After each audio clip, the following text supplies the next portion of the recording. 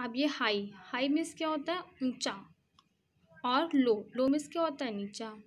High और लो मतलब ये पोजीशन के अकॉर्डिंग होता है पोजीशन जैसे ये ऊँची है चिड़िया और ये नीची चिड़िया है तो ये ऊँची उड़ रही है और ये नीची है। है ना? दिख रहा है ना?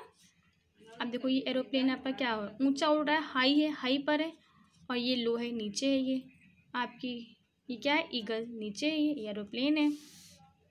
ये आपकी काइट ऊँची है हाई है ये आपकी लो है काइट हाई एंड लो ये मोर अधिक और लेस मीन्स कम या एक ये क्वांटिटी के अकॉर्डिंग होता है।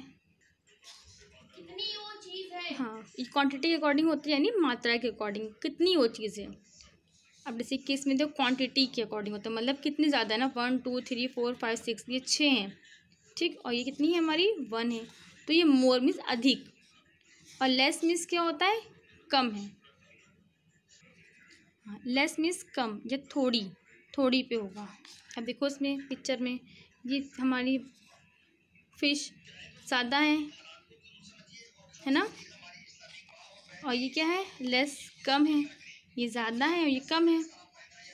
ये देखिए, आपका बैलून ये टू है, छो, कम है, थोड़ा है ये, और ये हमारा ज़्यादा है ओके